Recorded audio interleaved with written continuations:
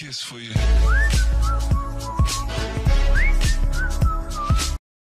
Hey, muy buenas a todos, ¿cómo están? Espero que estén bastante, bastante bien porque yo estoy muy contento volviendo un medio más y bueno, pues como notarán tal vez eh, todavía me noten con una voz congestionada y es que todavía no me recupero al 100, pero eh, la verdad es que he estado intentando no subir videos para que mi voz se... no, bueno, no mi voz, mi garganta se rehabilite un poco, pero en realidad no ha mejorado en absolutamente nada, entonces eh, por lo menos ya no voy a hablar y tengo que estar cuidándome a que no me, se, me, se me salgan mis gallitos, así que lo siento muchísimo para las personas que han estado esperando un video, en verdad lo siento mucho. Pero bueno, empecemos con las noticias. WWE.com ha desplazado la biografía de AJ Styles a la sección alumni. Esto significa que en estos momentos no forma parte del roster oficial de la compañía, aunque como ya se había informado, este movimiento forma parte de una storyline. Esta situación ha llegado después de que el ex campeón mundial de WWE atacara a Shane McMahon en el último programa de SmackDown Live. En un segundo, en un segundo posterior, Daniel Bryan anunció el despido de Styles. Los rumores indican que AJ Styles pasará a formar parte del roster de Monday Night Raw después de WrestleMania. En ese momento no será traspasado sino que será contratado nuevamente. La storyline del despido podría alargarse en las próximas semanas hasta que Shane McMahon anuncie el combate entre ambos. Es probable que el combate tenga algún tipo de estipulación de cargo contra contrato o algo así por el estilo. A raíz del posible paso de Styles a Raw después de WrestleMania, han surgido más rumores sobre el draft. Una fuente ha informado que la edición de este año podría celebrarse el 4 de abril, día de la grabación de SmackDown Live. Sin embargo, WWE no ha confirmado esta noticia y es probable que no se celebre en esa fecha, por lo poco tiempo de promoción que tendría. Hay que recordar que hace unos meses se publicaba que Styles sería el traspaso estrella de SmackDown a Raw y que el draft se podría celebrar en mayo. Triple H ha publicado un mensaje en Twitter esta tarde sobre el tour de NXT que se celebrará en junio en el Reino Unido. En el mensaje figura un póster en el que Shinsuke Nakamura, uno de los actuales reclamos de la división, no estará presente. Esta imagen ha dado, pie a la especulación de que Nakamura no estará en NXT en junio, lo que significaría que ascenderá al roster principal de WWE muy pronto. Todavía no se ha concretado la fecha, pero es probable que Nakamura aparezca la semana posterior posterior a WrestleMania 33. No hay una fuente que confirma que roster irá, pero un informe apuntó hace unas semanas de que sería la sorpresa de Raw. Nakamura expresó su deseo de participar en WrestleMania y pelear contra algún luchador del estilo de AJ Styles, pero la cartelera está casi completa y WWE no tendría en mente hacerlo debutar en ese show. Nakamura ha sido anunciado para enfrentarse a Bobby Roode en Takeover Orlando, evento que se celebrará el 1 de abril en una pelea donde el campeonato de NXT estará en juego. Les que si Shinsuke Nakamura se va a Raw y AJ Styles también el mismo día, les juro que dejo de ver Raw, se los juro. A unas semanas de celebrarse el evento de WrestleMania 33, ya se está hablando internamente cuál podría ser el plan para el combate principal de WrestleMania 34, evento que se celebrará el próximo año, el 8 de abril 2018, en el Mercedes-Benz Superdome de la ciudad de Nueva Orleans, Luisiana. Internamente, el plan es enfrentar a Roman Reigns y Brock Lesnar por el campeonato universal. Esto significaría que Brock Lesnar vencerá a Goldberg en WrestleMania 33 y se convertirá en el nuevo campeón. No obstante, a un año de vista se hace un poco impredecible que esté hablando de un reinado de Lesnar tan largo, ya que muchos cambios podrían aparecer en el camino, aunque el Wrestling Observer ha informado que así será. El portal informativo recuerda que Lesnar termina contrato el próximo año después de WrestleMania y es probable que su calendario se intensifique. De hecho, la bestia ha estado apareciendo en una gran cantidad de shows de Raw en los últimos meses, ya sea para televisión como para Dark Match.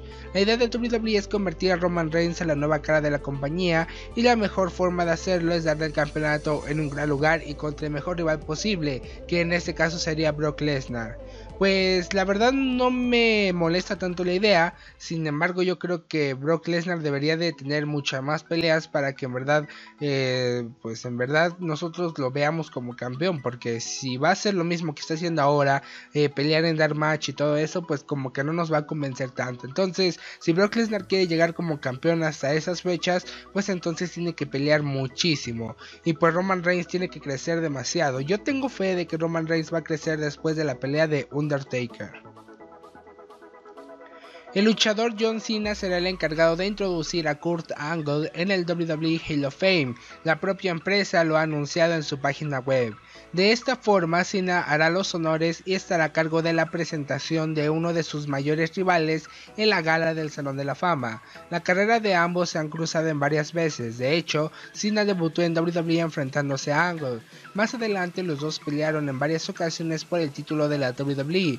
Angle ya dijo que le gustaría que lo Brock Lesnar, Undertaker, Austin, eh, Steve Austin o Cena, haciendo hincapié en este último. Así ya son dos los confirmados para presentar a alguien en el Hall of Fame. Rich Steamboat hará los honores del fallecido Rick Rude. El Wrestling Observer Newsletter ha indicado que Jim Cornette podría introducir al Rock and Roll Express. La verdad es que es bastante interesante lo que están haciendo con John Cena y Kurt Angle. Me gusta bastante. Espero que Kurt Angle ya regrese pronto eh, a Raw porque pues es lo que necesita yo creo. La empresa estadounidense WWE está muy contenta con Goldberg. Los oficiales consideran que el regreso del luchador ha sido todo un éxito. Esto hace que se abran las puertas a futuras apariciones. Según informa The Wrestling Observer Newsletter, los directivos de WWE consideran que el regreso de Goldberg ha sido muy bueno y ha cumplido con las expectativas. Al principio había firmado solo para un par de combates, el que tuvo en Survivor Series contra Brock Lesnar, pero ha firmado más apariciones hasta WrestleMania. Según dice Dave Milser, WWE estaría abriendo las puertas a que haga más apariciones en eventos importantes. Goldberg se enfrentará a Brock Lesnar en WrestleMania 33. Según dicen los rumores, el combate tendrá una corta duración y terminará con la victoria de la bestia para esta forma vengarse de las humillaciones de Survivor Series y Royal Rumble. La verdad es una A ver, a ver. WWE, haz lo que quieras de corta la pelea de Brock Lesnar y Goldberg, pero no lo pongas hasta el final, por favor, no la pongas hasta el final, pongas hasta el final. Jeff Hardy fue entrevistado recientemente en cscops.com y confirmó que su contrato con Ring of Honor es de corta duración. La promoción suele realizar contratos de uno o dos años, dependiendo de los estatus de los luchadores, pero en esta ocasión parece haber hecho una excepción para aprovechar el tirón de los hermanos Hardy. Sí, firmamos un contrato de corta duración porque todavía podemos estar trabajando en el circuito independiente. Hemos vendido un montón de mercancía y nos hemos hecho muchas fotos con los fans. Está muy bien poder ser tu propio jefe y de paso aparecer en televisión con Ring of Honor, declaró. Jeff también habló de la posibilidad de regresar a WWE y llevar sus nuevos personajes a la gran pantalla. Jeff estaría encantado, aunque también, aunque también ve factible la posibilidad de volver a pelear individualmente. Me encantaría presentar el Broken Universe a WWE, creo que sería algo muy grande. Lo que sí creo es que voy a tener una nueva carrera individual allí. Me gustaría ganar el título mundial y poder retirarme. Comencé en WWE y me gustaría terminar en el mismo lugar, pero por ahora seguiré centrado en el Broken Universe con Matt. Creo que es lo mejor que ha hecho y espero que dure mucho tiempo, el tiempo que se pueda, añadió.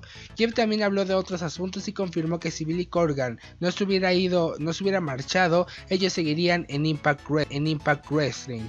La verdad es muy interesante porque Jeff Hardy por fin ya habló de WWE y habló de buena manera, de hecho habló casi casi confirmando de que sí va a estar en WWE y que va a ser como una carrera individual. Esperemos que sigan con sus personajes de Broken porque son fantásticos. La verdad me encantaría que siguieran en ese papel.